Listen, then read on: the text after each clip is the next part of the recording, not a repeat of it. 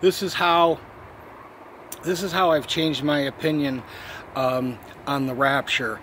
What I, I mean, I flip-flopped on it a few times. I wasn't certain, but now I'm certain that there will be a mid-tribulation um, rapture. One of the main reasons is is because in Revelations, after everything that happens and all the seals are open and all this stuff, there's only one thing, and the moon falls and all that, you know, there's only one thing left to happen.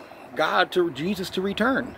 So you would kind of know the time or the hour. You would be going, yeah, I mean, he could be coming really shortly now.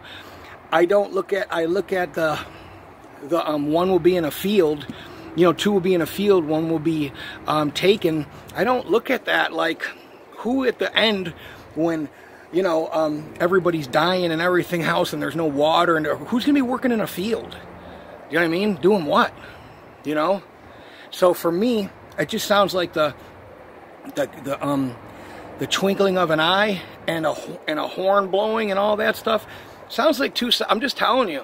Um, it sounds like it sounds like two separate events and also I'm not saying it to be funny but you know God's been showing me things and I'm I'm, I'm firmly believing in God and trusting in God that the dove that he showed me and I'll include it in the link was a sign because I, I, I was just like, well, just go through the tribulation. I don't know. I guess we're going to have to do it. I'm not saying that I'm going to make it through or whatever, but I'm just saying um, it just seems like a, it, you know, it's it to me. It sounds more and more and more. The more I look at it, and the more it, it's, uh, you know, I hear about it, the more it just seems like two separate events. You know, I'm not saying it because uh, I don't, you know, it's not a salvation thing. You know, I don't really care if, you know, if I don't know, God has whatever planned He has planned for me, and you know, He didn't bring me this far to to, to lose. So that's that's kind of how I feel about it.